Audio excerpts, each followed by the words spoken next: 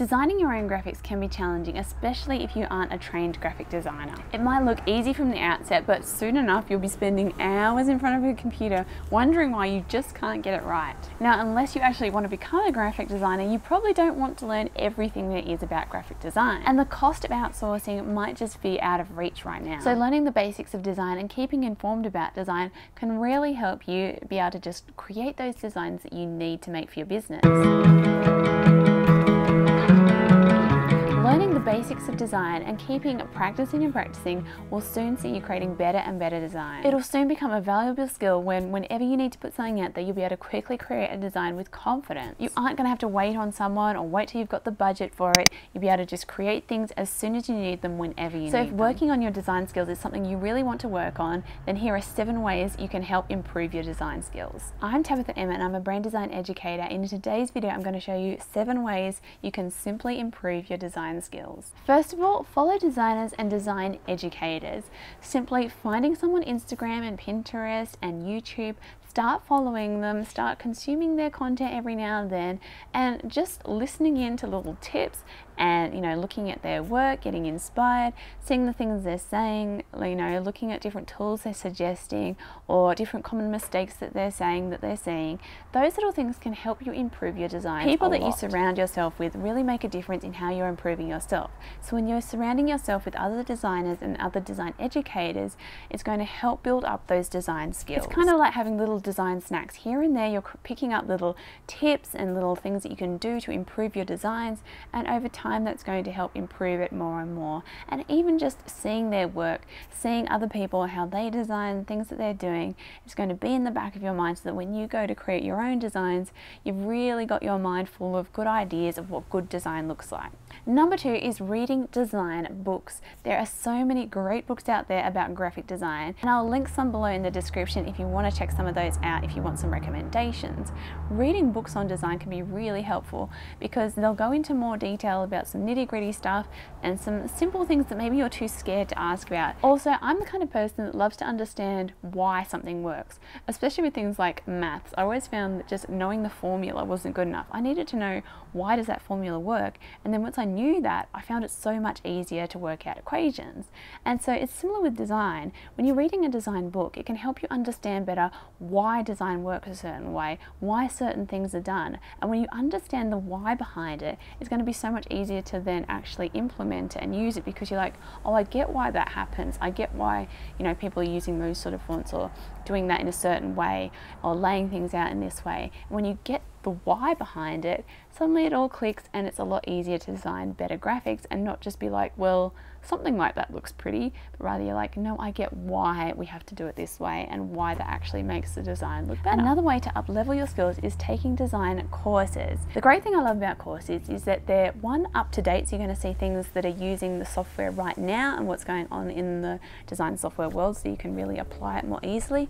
And also because it's video, you're seeing things visually. And so if you're a visual learner and just reading things in a book with a few little graphics isn't helping you enough, being able to see in videos how somebody's actually going about doing something, watching their process, watching how they do it, and getting that more up-to-date knowledge and getting some help from someone that can, you know, answer your questions and give you some feedback. It can be so valuable. So design courses are really helpful. And I do have a few, so again, check the description box below if you want to check any of those out. Another great tip is practicing designing with personal projects. So if you only ever design when it comes to things you actually need, then it's going to limit how often you're actually going out there and designing. If you come up with some personal projects you can work on, it's an opportunity for you to experiment, make mistakes, have a bit of fun, do something that's completely different and out there, and hone in those design skills, get better and better at it. Because if that pressure's on when you have to create something that you know is actually going to be put out there, it's going to be representing your business, then it's a lot more stressful because you're trying to get it right. When you have a personal project, then you can experiment more, you can make mistakes, and you can try out new and different things and you can really improve your design skills. Number five is keeping an eye on design trends. Now, I don't recommend that you base your whole brand off the current design trend because then in a few months' time that's going to change and you firmly feel like you're going to have to change your brand, otherwise it looks dated.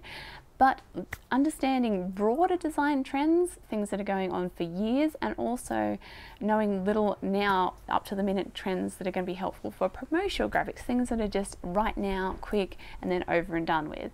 Knowing those design trends can be really helpful because you can see how other people are applying those trends, you can give them a go, and you know that they're going to be something that people are going to be excited about because it's new and it's right now. It also helps you get in a bit more of a designer mindset, thinking, what's hot right now? What are the design trends? What's really happening? Which means that you're constantly having to look at different designs and think, well, what is the you know common threads I'm seeing here? What am I noticing is occurring again and again? That's obviously a trend that's happening right now. And so when you're trying to look out for trends, it's actually helping you notice design more, being more design aware, and therefore helping you design better. Which leads to another way that you can hone your design skills, and that's by copying.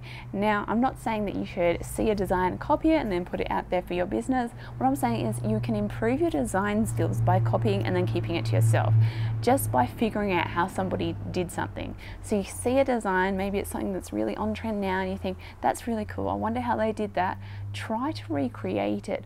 Work it out, experiment, do some learning, find out how they did that, recreate the same thing don't put it out there, don't show it because obviously you've copied it and you know it's their copyright, but it's a way to learn. In the art world, this is often how people experiment and find their own style by first copying. So you find the masters, you find the really great designers, the people who do an amazing job, and you try and copy something that they've done, figure out how they did it, and that's going to help improve your own skills so then when you go to create your own original work, your design skills have improved a lot. And finally, use design templates. So similar to the copying, by having something that's already structured and started for you, you can just tweak it and improve it and make it your own.